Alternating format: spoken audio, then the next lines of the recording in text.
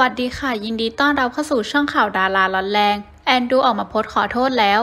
กลายเป็นดราม่าเลยล่ะค่ะสำหรับโปรวัคซีนที่นำเข้ามาในไทยตอนนี้ เพราะหลายคนก็กำลังอยู่ในช่วงตัดสินใจ ว่าจะฉีดตัวนี้ดี หรือว่ายังไม่ฉีดเพราะไม่นานนักแสดงหนุ่มแอนดูก็ได้ออกมาโพสถึงปมวัคซีนไว้ว่า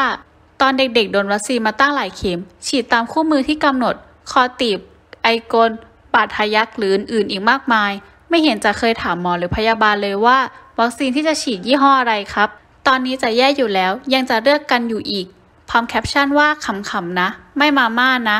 ฝันดีผีกัดตูดครับแฮชแท็กโควิด -19 ไทยแลนด์งานนี้ก็ทำให้มีดราม่าทัวร์ลง IG อย่างหนักเพราะหลายคนไม่ขำด้วย โดยมองว่ามันคนละกรณีกัน และสำหรับวัคซีนที่ฉีดตอนเด็กนั้น ได้รับการรองรับทั่วโลกต่างๆ นานา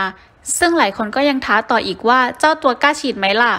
ล่าสุดหนุ่มแอนดูก็ได้ออกมาโพสต์แล้วว่า จากข้อความที่ผมได้โพสต์เมื่อวานนี้ ผมต้องขอโทษด้วยนะครับ กับข้อความที่ผมได้ลงไปแล้วทำให้หลายคนรู้สึกไม่ดี ตัวผมเองอยากจะขอชี้แจง ตรงนี้ว่า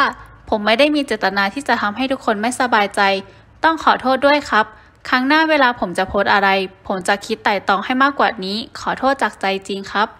ซึ่งเจ้าตัวก็ได้ปิดมาให้คอมเมนต์ในโพสต์นี้